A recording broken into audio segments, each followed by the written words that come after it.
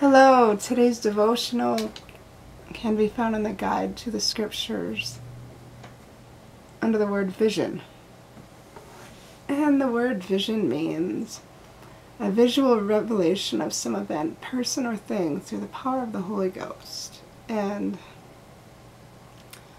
visions are an example of how the Lord speaks to us when we have the Spirit to be with us and we are, when we are open minded. Anyone can have visions or revelations from God.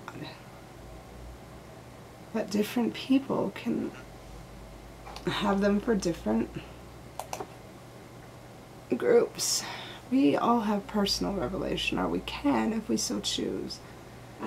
People of like different spiritual levels can have revelations for different groups of people depending upon what their divine stewardships are, depending on what God has asked them to do.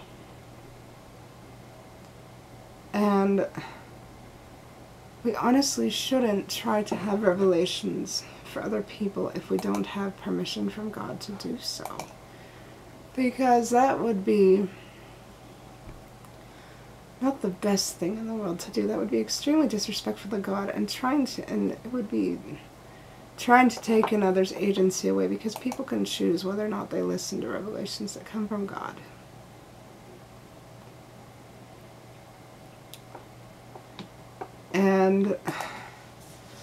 Revelations are personal, visions are personal.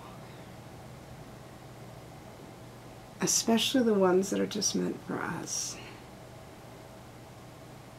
And of course, the Lord understands that some people might not be ready for visions or revelations, so He waits.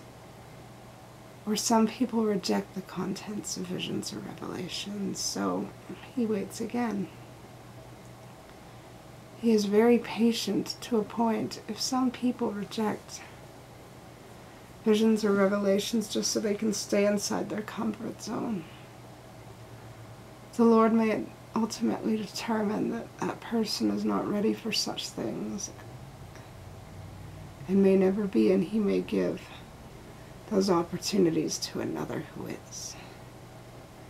The Lord does not want to give blessings away to other people, but if people don't value the blessings when they are given the opportunity to have them,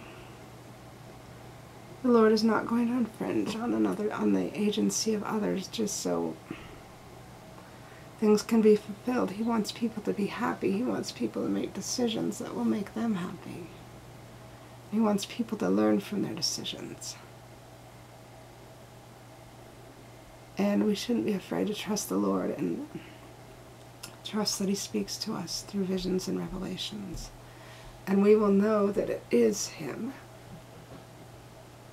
when the Spirit confirms it through warmth and through peace and through assurance. Visions are not impossible. We just have to have an open mind and we have to be open to the Spirit and able to carry the Spirit of God within us.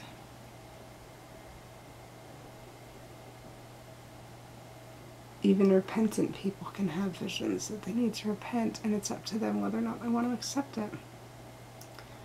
Satan would not have us believe in visions. He would make us think they are hallucinations, and that's just Satan because he will never have any visions. He tries to be a fake vision to those wanting them simply to sway them away from God, but it will not work.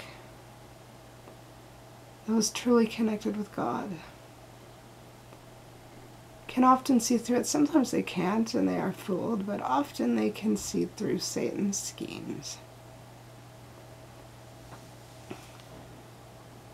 We have constant visions of our worth and our value to God through the scriptures.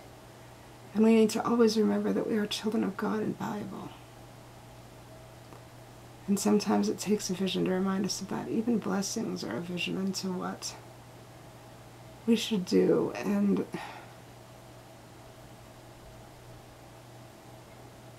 what we should really invest our time and lives in. Take them seriously when they happen. Treat them sacred. There's a reason. If God's speaking to you, there must be a reason. And with that said, I love you all so very much, and I say these things humbly in the name of Jesus Christ. Amen.